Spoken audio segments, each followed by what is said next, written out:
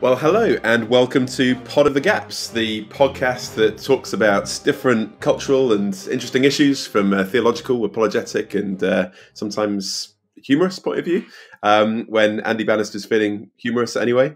Um, and this is with myself, Michael Ots, Andy Bannister, and well, actually, not Aaron Edwards today. Where's Aaron gone, Andy? I know it's it feels very strange, Michael, to be recording an episode of Pod of the Gaps with without without Aaron. But he is apparently he's on he's well he's on holiday not apparently he is on holiday but he's gone to some part of the country where there apparently there is there is no wi-fi there is there is no no no internet. So he he has gone off he's gone completely off incommunicado. He has disappeared. He's not even getting text messages so he, doesn't he doesn't even know that we're recording. i mean to be yeah. fair there are parts of the country where technology is slower. I'm on i'm on holiday in in in somerset Michael. And down, and down here, there are still parts of Somerset where if you say to people, you know, ask people about the internet, that's assumed that it's something to do with fishing. You know, or you know, I used to be into I used to be into hunting and shooting, and, and now I'm into net and uh, and stuff. So um, apologies. And the Wi-Fi is who... the Wi-Fi is who they're married to, right? oh, that's very good. Yes, so exactly. So we can't assume that everything is a is a sprawling metropolis like uh, the parts of the country that you know you and I normally residing. But so yeah, it's just you and I. Aaron Aaron okay. has vanished, Aaron's so we can say anything we like.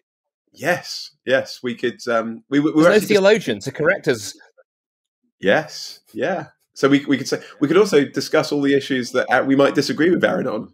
This would be quite good, so we can get our words in before he can respond. But uh, uh, but we'll leave that for when Aaron's back because I think. Well, we'd also had uh, I also like the idea we came up with before we pressed the record button that we we take a series of sort of you know appropriate affirmative noises from from Aaron and we just you know insert those into the recording so so so listeners at home you'll think that Aaron's here. We can take little snippets of him going yes Michael and absolutely Andy and then we can spend the next half hour saying outrageous things and having Aaron Aaron nodding nodding along. It'd be like the the electronic version the the I Aaron uh, the theologian who always agrees.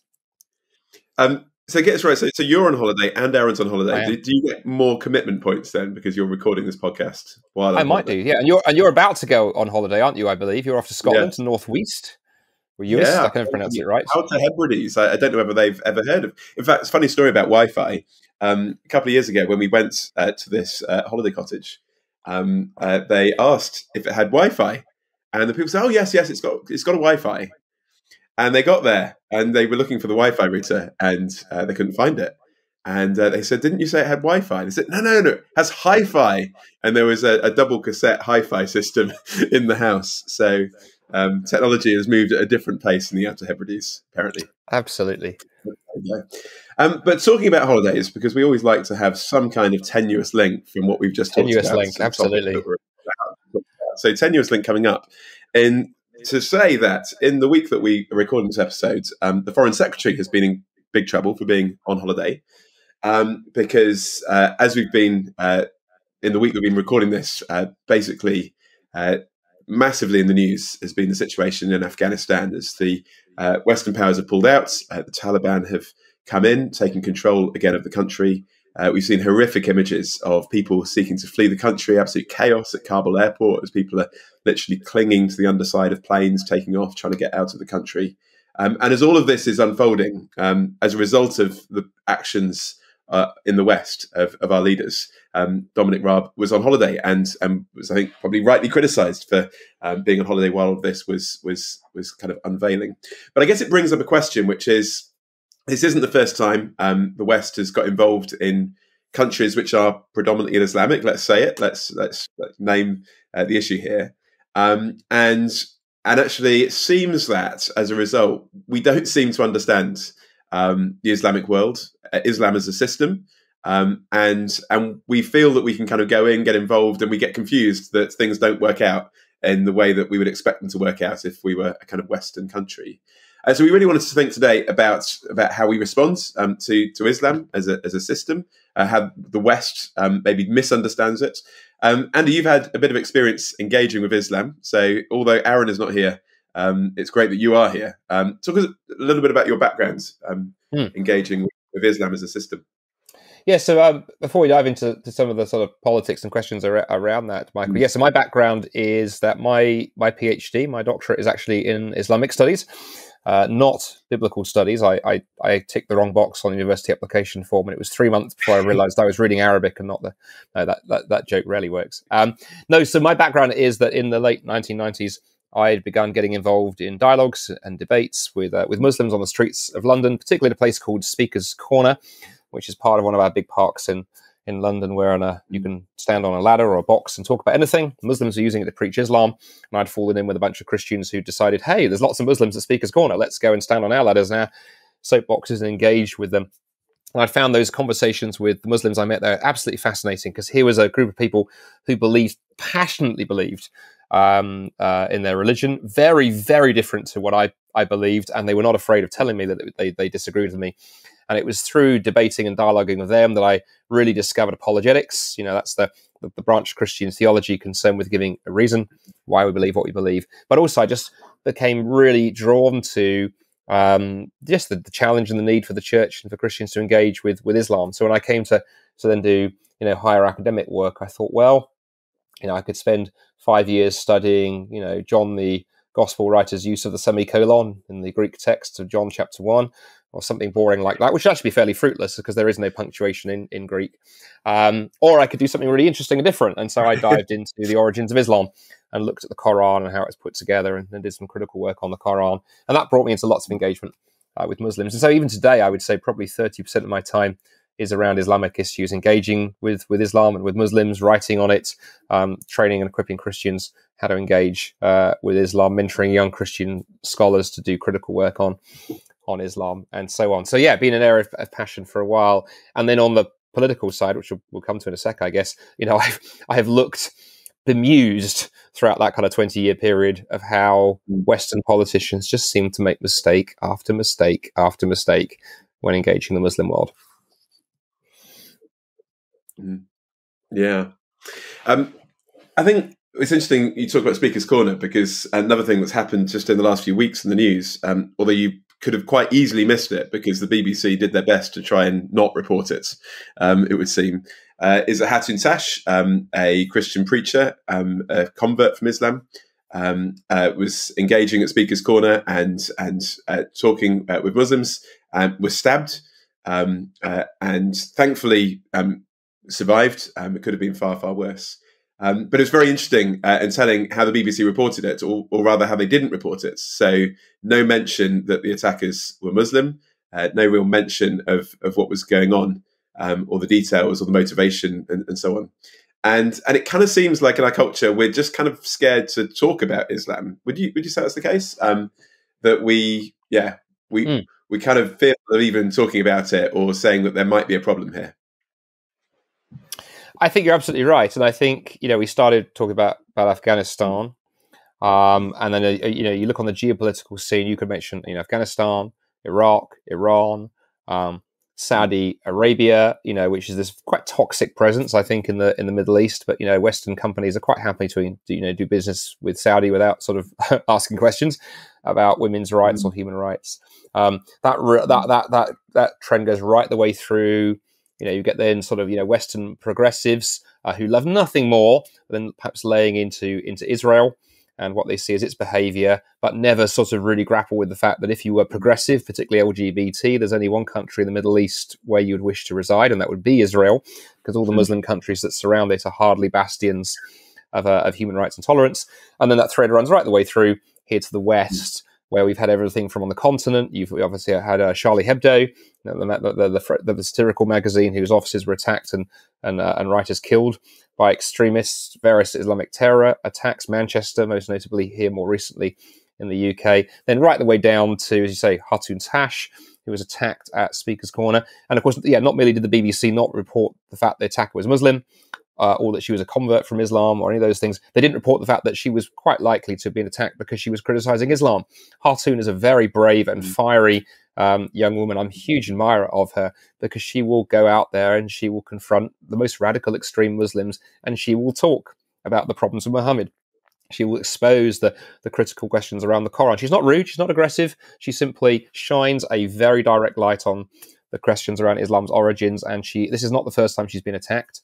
And then equally here in the UK, you might say we've had things like, you know, the Batley uh, Grammar School, uh, a few months ago now. That was where there, there was that teacher in that school in the north of England who, in a class talking about religious freedom, happened to you know mention uh, and, and mention the the, the the, cartoons of Muhammad that were done a few years ago, and just showed one by means of illustration, not to poke fun, but to say this is what we're talking about. As a result, he received death threats mm-hmm. and has now had to go into hiding. And in fact, even just yesterday, I think it was day before we're recording this, uh, our old friend the BBC had a story about a horrific homophobic attack on a on on a couple of uh, gay men. I think it was in Manchester.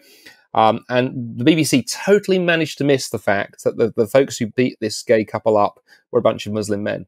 Um, and so I think the West, whether it's at the, the, the local level when things happen around Islam, or on the geopolitical scene, just don't seem to know what to do. You know, you must never criticize Islam. Um, because it's a religion. You know, on the, on the other hand, um, therefore, it means you avoid asking all those critical questions. And so, mm. I think it bemuses me and it, and it, and it depresses me actually at times, Michael, because it, it feels like we're we're facing an ideological opponent, um, certainly in the form of radical Islam. And I always make a difference between Islam and Muslims. There are mm. moderate mm. Muslims.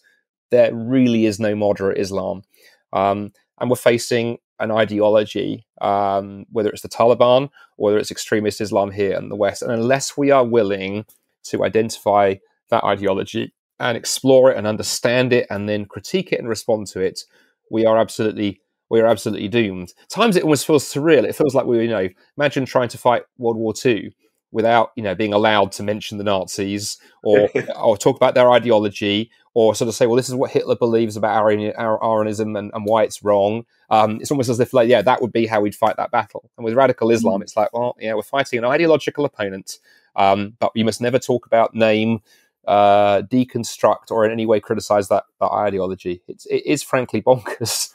Yeah. And it's almost like you get two kind of extreme views, don't you, in society? So on the one hand, you've got um, like a lot of the media basically trying to say, well, Islam's really peaceful. Like these people aren't really Muslims. Like if they were really Muslims, they'd look at all those lovely peaceful verses in the Quran and they wouldn't be doing these kind of things. Um, so that's kind of on the one hand. And then the other people on the other hand are saying, well, like that's clearly ridiculous. Like look at this horrific stuff that's been done in the name of Islam. Like, and therefore Muslims are awful. But then people, of course, react to that, and they're like, "Well, hang on a minute. I've got Muslim friends, and they don't seem awful. They they love their family. They they mm. love me. So what you're trying to say is, I guess there's a distinguishing between Islam as a system and Muslims as people. Um, obviously, not all Muslims are the Taliban, uh, but you're saying there is. But, but whilst there are moderate Muslims, there isn't a moderate Islam.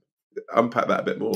Yeah, there's so much that could be, be, be said here, but let me say let's say a couple of things. I mean, one of the first things I'd say, Michael, is I think in, in the West, particularly, politicians largely, and much of society, and certainly the media class, one of the problems is they they don't know how to think theologically. As the West has mm. become increasingly post Christian, we've forgotten as a nation the importance of theology. You know, theology is, you know, okay, there are these strange religious people who, who, believe things, but they don't really believe them. In fact, many Western politicians, I think, have frankly bought into what's affectionately termed the Marxist view of religion. But it's not about religion, it's all about economics.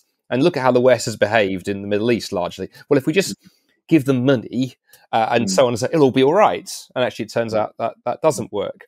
And the other one we could mention, by the way, I mentioned earlier, uh, you know, Afghanistan, Iran, Iraq, um, and uh, and Saudi Arabia. The other one you might mention, of course, would be the the so-called Arab Spring. Remember a few years ago when democracy was supposed to be blooming across the Muslim world, and that turned out to be a fairly short-lived flower that kind of grew and wilted and and died. Um, and I think people have forgotten Western Western politicians have forgotten that for much of the Middle East, theology really matters. People really believe things. The Taliban, you know, are not just some bunch of wackos. They actually really believe something. In fact, I remember, I think it was after the Manchester uh, bombing, uh, you know, a few years ago, when the Guardian, um, you know, had a piece on, on, on, on that. And of course, The Guardian is not known as a kind of bastion of kind of religious, religious thinking. But the comment section was interesting because somebody had written under in the comment section on this article on the the the, the, the Ariana Grande, Grande bombing, mm. and um, and someone had written in the comment section on that piece um, how I mean how do you respond uh, to, to to people who are so you know utterly nihilistic? And under that comment, it was really interesting. Somebody had written they, somebody had written in reply, "No, I don't think they're nihilistic. I think the problem is us. We are the nihilists mm. because we believe nothing. These people believe something with a passion. What they believe may be passionately wrong, but they mm. have beliefs and we have nothing. And one of the problems mm. here in the West is you think of the alternative that we're offering to people who are wedded to radical Islam. We're offering them what? A diet of consumerism, MTV, and social media, mm. and assuming that will give like, their lives meaning. And I think the only solution to radical Islam mm. is radical Christianity. You need to mm. replace one belief with another. And there are plenty of stories of, of radical Muslims who have become Christians. And that's ultimately, I think, the only way you can de radicalize. So that's the first thing. And then the other thing I would say, I think, uh, quickly here, Michael, is that um, you know Christians are not immune from from viewing things in a binary way. I get quite sad in that I come across on the one hand, you know, Christians who sort of fear or hate all Muslims. I remember speaking at an event uh, some years ago where somebody we were talking about something in the Middle East and someone in the audience raised their hand. This was a church event and said, "I don't understand why we're talking about loving our Muslim neighbours. We just need to bomb these guys back to the Stone Age." I mean, myself and the, fellow, and the fellow speaker at the event just being stunned of going, "Well, hang on, what happens to love your enemies, pray for mm. those who persecute you?" And reaching mm. out even to your enemy with love and compassion. Not not being a doormat, but equally not just going, okay, we just use a military solution. On the other hand, I meet Christians who seem to think all we have to do is just hug and love and affirm. And we must never say anything anything critical. We must paper over the um, over the differences. Our old friend Steve Chalke, who we mentioned on last last episode on when Christian leaders go woke, you know, the other day tweeted mm. something about you know Muslims and Christians and Buddhists and Hindus. We all we all worship the one the one God I was like, well, that's lovely, Steve, but it, firstly, it's not true, and secondly, it's totally useless. And mm. as Christians, we've got to find that that third way of blending together love and love and truth. Mm. You know, truth without love can just be very heart, heart, hurtful mm. and harmful, and just seek to destroy. But love without truth just goes in circles and mm. goes nowhere. We have got to begin being willing to ask the difficult questions. What is it about Islam? That's the thing we need to identify. What is it about Islam that is the problem? Hmm. I think that's so helpful. It's, I wouldn't say it's even just you know kind of Christians who have embraced kind of a liberal theology, like say Steve Chalke, but but actually even in kind of mainstream evangelicalism, there is I think a fear to criticize Islam or to criticize other other worldviews and beliefs, which is interesting because biblically, if I'm going to be Aaron from it, can I be Aaron and kind of bring a theological perspective here? I feel like we we need one. Um, but actually, it is biblical, isn't it, to to challenge worldviews that set themselves up against Christ? I mean, that's what Paul did again and again um, in the New Testament, and and yet we feel like, oh, we just we just present Jesus, and I've had that as an evangelist sometimes. You know, you shouldn't criticize other worldviews. Although it's interesting, we can criticize atheism as a worldview. It's totally fine to do that in a talk. But if you if you were to kind of like critique kind of Islamic worldview or another religion, it doesn't seem to be allowed. And yet, I guess in my experience, I would say one of the ways that we can really help people to see the beauty of Jesus is by putting that in contrast with um, with Muhammad, with with the system of, of Islam. Um, and I guess for me, I haven't done a doctorate in studying Islam, uh, but but having studied it over the last few years, uh, it's given me a greater desire to want to communicate Jesus to people who are Muslim. Because actually, when I look at Jesus side by side with Muhammad, I just see how beautiful, how attractive he is in comparison. Um, so I think we shouldn't we don't just be afraid of of criticizing. Um, uh, if we're doing it in a constructive way, so it's not just criticizing; it's it's trying to say here's what's wrong, but also here's what's beautiful about Christ. I think what's also interesting, talking about the word radical. Um, it's interesting, isn't it? Because um, there's a sense now which is all religion, all radical religion is wrong. So yeah, the, the word radical is just seen as bad, um, and actually radical just means to go back to the root. Um, so the question is, like, you know, you're going to be radical about something, um, you know, what are you, what are you being radical about? And I think the problem is if you're going to be radical about Islam and go back to the roots, which is Muhammad's, then you've got a real problem there. Um, when you hmm. actually look at his life, his, his teaching, his example. Yeah. Uh, but then you look at Christ and you think, here's someone who not only taught love your enemies, do good to those who persecute you, but then literally does it uh, as he dies at the hands of his enemies. I think, well, well, do you want to be like a, a, radical follower of the man who said love your enemies, or just kind of like a half-hearted follower of the man who said love your enemies? I mean, like, say, so radical Christianity should be a really beautiful thing if it's radical to the root that's Christ, right? I think you're right, and, and it's interesting that the word, you know, obviously the word radical and the word fundamentalist are often thrown around with sort of scare mm. quotes uh, mm. around them, and I think you're you're right. If anyone ever says that to you as a Christian, uh, you know, if for folks listening to this, it's always interesting, yeah, to turn it around with a twinkle in your eye and do exactly that, and says you've done, and say, well, you know, surely the question is what you're radical or fundamentalist about human rights, right? I mean, if you're a fundamentalist about the idea that everyone has inherent value and dignity, it's a good thing, presumably. You know, love my the love that I have for my wife and my children. That's fundamental. Nothing is going to is going to shake that. Uh, presumably, people go, "That's a good thing. That's an absolutely a good thing." So, mm. You know, really, all the word fundamentalist means, I think, is this person believes something more strongly than I do. And I think here mm. in the West, actually, in this post-Christian age we live in, I think we're just mm. generally afraid. Oh, that's funny, isn't it? On the one hand, we're, we are afraid of people who believe anything with with strength and vigor. On the other hand, we're just replacing one set of beliefs with another. We've talked about this on previous podcasts. So if somebody sort of made disapproving noises about fundamentalism, and I bet if you would turn around to them and say, "Oh, so you you know you would you would agree that you know LGBT rights are basically negotiable, they're up for debate," I suspect the secular person you talk to go, "Well, no, absolutely not." Ah, so you're fundamental uh, yeah. about them, or you're you're a fundamentalist mm-hmm. when it comes to your belief, you know, your your your beliefs about climate change or transgender or whatever it is. Um, so I think the, my concern is the West is in tied itself in knots and, and all kinds of things. But to bring it back to Jesus, I think mm. you're absolutely you're absolutely right. The contrast there is staggering, and of course, this is the key issue. You know, the really issue with Islam is not individual Muslims. I would say the issue isn't even the Quran. When you read the Quran, Michael, there are radical verses, there are peaceful verses, but they're all kind of mm. jumbled up together. Mm. What mainstream Islam has done for for for, for, for over fourteen hundred years, uh, fourteen hundred years roughly now, has been that whenever you have two verses or two themes in the Quran, mm. passages in the Quran that, that appear to contradict, you know, peace versus violence, what uh, an Orthodox Muslim has done is say, well, okay, let's look at the, the, the, Islamic traditions that tell us what Muhammad, their their their founder, was doing when those verses were were revealed uh, to him. Now, of course, as a Christian, I, I don't believe the Quran was revealed to Muhammad, but we're just sticking with Islamic theology for now. Mm. And what they would do is they would use that that the Muhammad's biography to give you a chronology of the Quran, and they would say, well, the, the later verses, if they contradict an earlier verse, those later verses supersede yeah. what's what's come earlier. Progressive revelation, it's called. That's an older sense of the word progressive. Um, and the problem you have when you look at Muhammad's career, Muhammad moved from peace uh, and tolerance in the early part of his career when the Muslim community was small to using violence and force and, and jihad and war and conquest when he got his hands on power. In fact, Muhammad fought something like 20 uh, military campaigns during the latter mm. part of his life. And then I would say to Muslims, uh, when I'm de- dialogue debating this with them, then, when Muhammad dies in 632 AD, look hmm. what the the caliphs, the who ruled Islam in the golden age of Islam, those men who had lived and worked with Muhammad, who knew what he wanted, what did they do? Did they start a commune?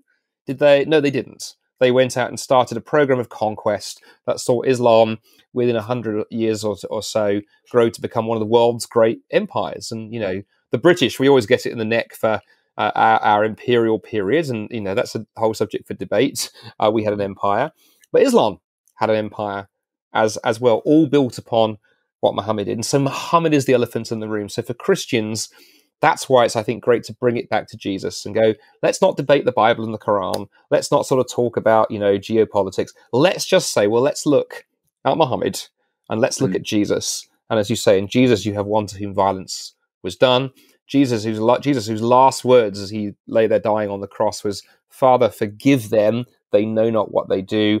Muhammad's last dying recorded words were to curse his enemies, banish Jews and Christians from uh, the land of Arabia, and just uh, you know criticize and curse people left, right, and centre. He died with vitriol on his lips. Jesus died with forgiveness. Mm. And in mm. fact, a dear friend of mine who I lost a few years ago to cancer, Nabeel Qureshi, and if listeners have never read Nabeel's story, Seeking Allah, mm. Finding Jesus, amazing story of a Muslim finding Christ, Nabil wrote another little book, and we'll put a link in this to the show notes, called Answering Jihad. And he talks about how part of his journey from Christianity to Islam, Michael, is that is that as, he began looking at the sources, he hadn't really looked at the sources. He just believed what he was told about Islam growing up, that it was peaceable and so on. And he finally got to the stage where he began looking at the origins. And he said, as he read Islam's origins and read the biography of Muhammad, he said he was forced to one of three conclusions. He either had to become a radical like the Taliban and ISIS and just go and start fighting infidels.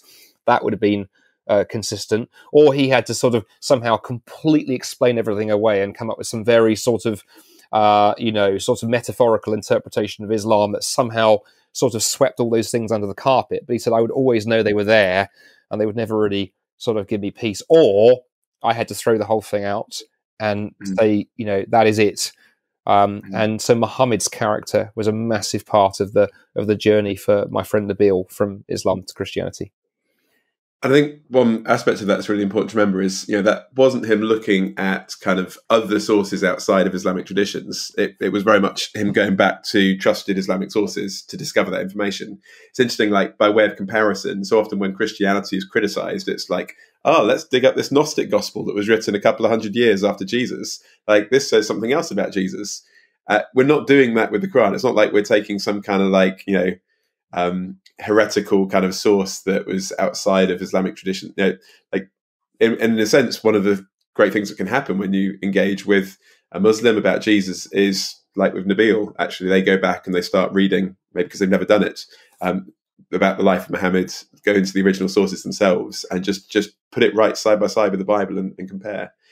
Um, so in a sense one of the mistakes we make in the west is we just don't understand islam as a system. We we want to kind of superimpose that either just it's not really important it's just like christianity is to lots of people in the west a kind of nominal thing. And actually for a lot of people it really is important. It really is something that fundamentally shapes not only their personal lives but the way they feel that the whole state should be run. And then i guess the other problem is in the west we don't understand our own culture which is we kind of assume that we've come to democracy and the situation that we're in right now in a vacuum, and that Christianity had nothing to do with that. so we're basically like, you know, Christian. Oh yeah, we might be a Christian country, kind of, but like that's nothing to do with like how our country is run, how democracy has come to us. Whereas actually, you know, don't just read Christians on it. Read some like Tom Holland and other secular historians. They'd be quite keen to say the kind of way that we are today is very much fundamentally because of the influence of Christianity upon our history. Um, and yet, what we're trying to do is take the fruit of several hundred years of Christian influence upon the West and then superimpose the fruit upon another country without any reference to where that might have come from. At the same time, forgetting that they've come from a completely different start point in terms of their mm. own worldview and belief system and then wondering why it doesn't really work. Is a yeah because it's a bit like trying to take a branch off you know an apple tree and just like graft it onto another tree and wonder why it you know, falls off. Yeah. Um, they were starting from to- to- total different roots i agree. And the funny thing is what i find i'm not sure that it's funny or tragic or mm. just deeply ironic is that you know you look at some of the terminology that's thrown around um, by those who you know like to trumpet their progressive credentials a cultural imperialism is a big thing, right? Mm-hmm. Cultural imperialism is a bad, bad thing mm-hmm. in our culture. Most people do not want to be labeled cultural imperialist. It's not going to go on your resume.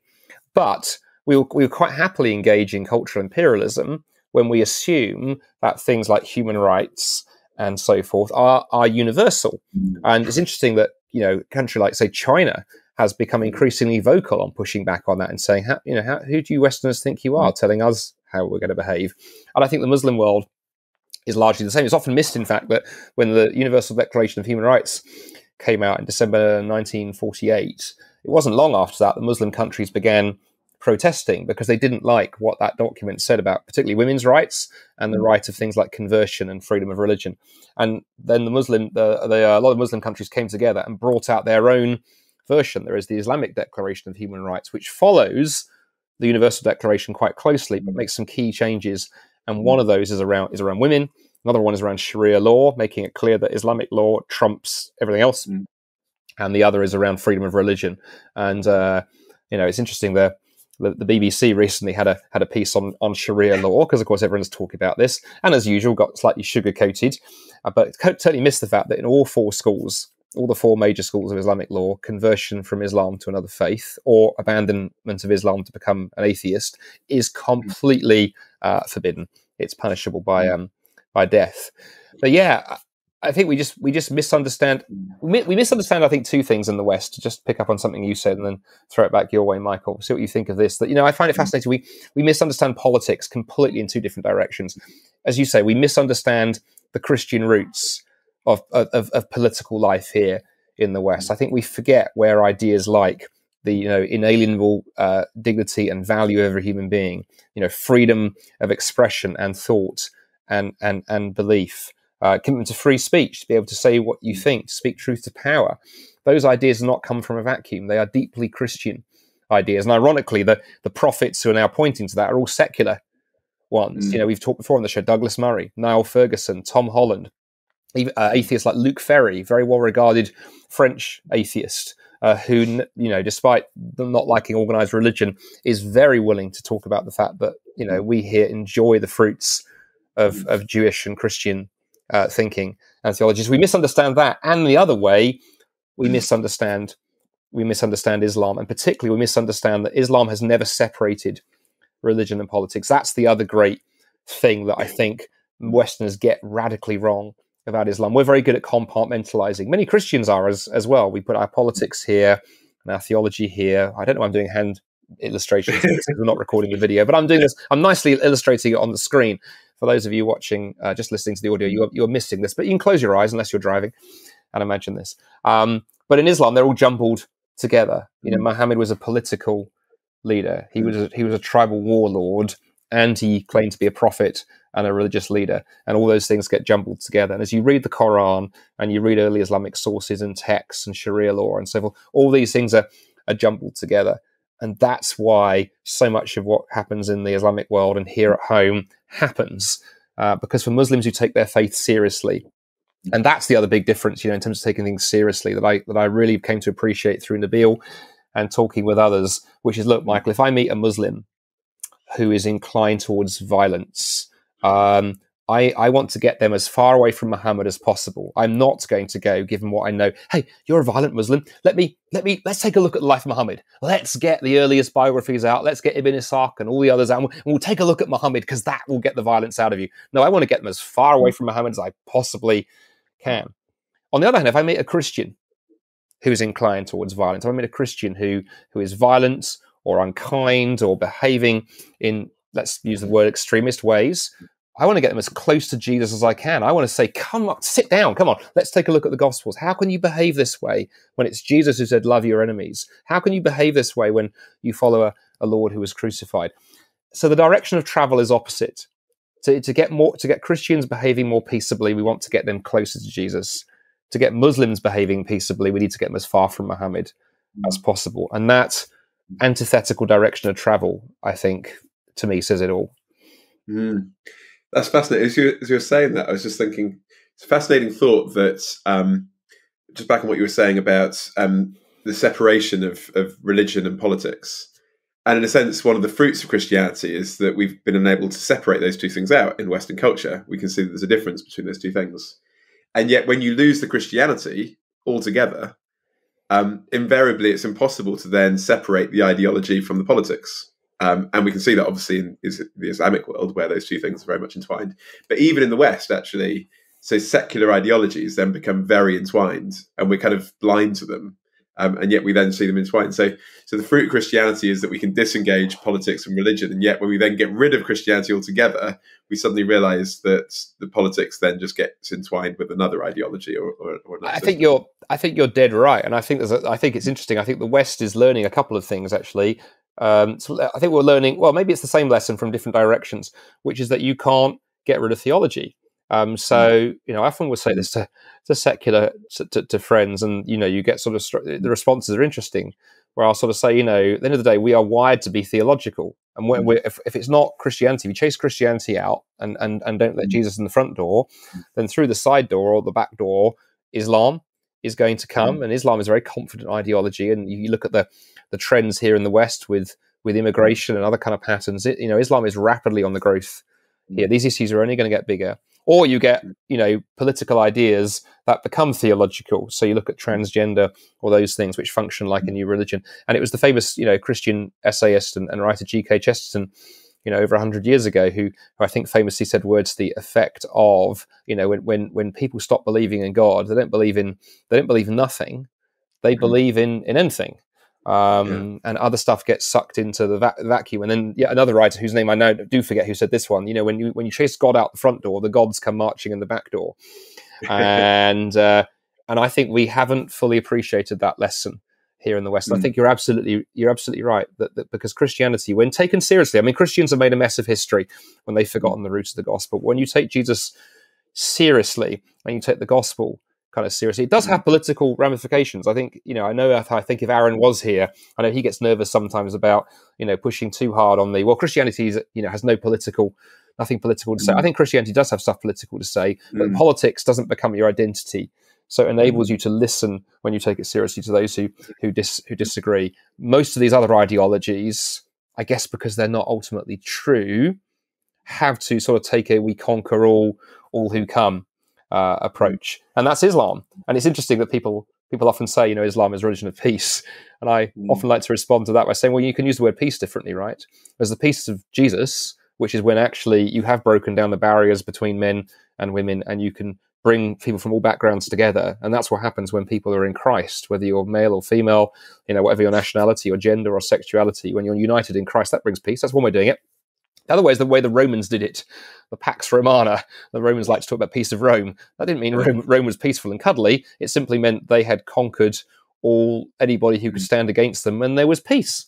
And that's mm. the peace of Islam. That's the peace that the mm. Quran envisaged uh, envisages. That's the peace that Muhammad um, envisaged. That when he has, when when all have been conquered and either submitted to Islam or have sort of you know uh, sort of given way and said, okay, we won't we won't ask any questions then you have peace.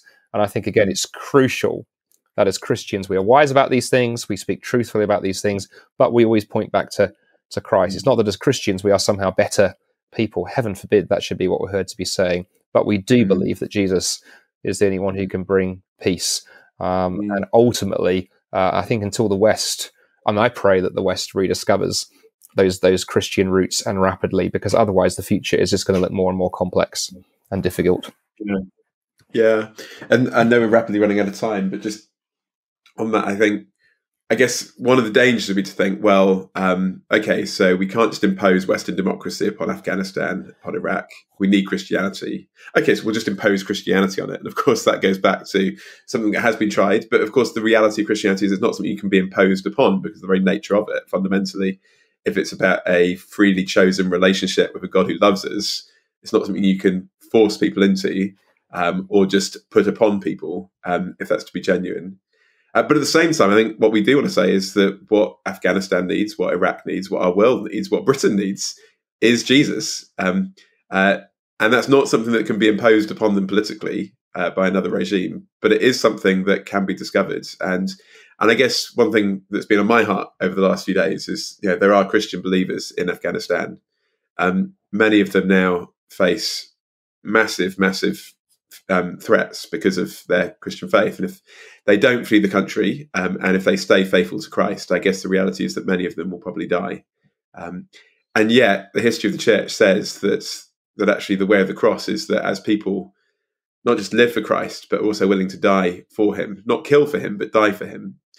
Um, that is one of the massive ways that often the gospel grows. And I guess my prayer is that in places like Afghanistan and Iraq, that there will be Christians who will be faithful to Jesus and in the increasing darkness of, of a country now ruled again by the Taliban, that people would see the light of Christ, um, not in the kind of power of this world, military might, um, but the power of the cross, which is a power that's that's a power in weakness.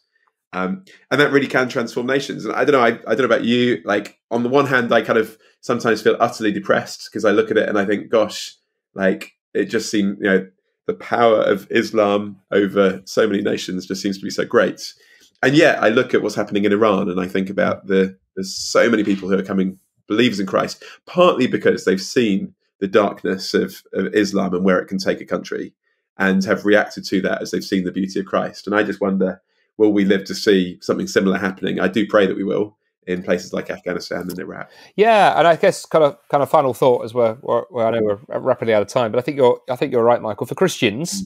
I think mm. I think yeah, I don't I don't think we have the I don't think we have the option of just uh, you know descending into hatred. That's not Christianity. Mm. That's not that's not that's not the gospel of Jesus. Nor despair. We should be mm. people of people of hope. And one of the things I'm impressed about when you look at Christians in mm. places like um, you know Afghanistan or China or North Korea, I have always been so impressed by the the joy and the mm. positivity that, that, that comes out here in the West. You know, the slightest mm. little thing happens to make our life inconvenient as Christians, and we can often become quite woeful.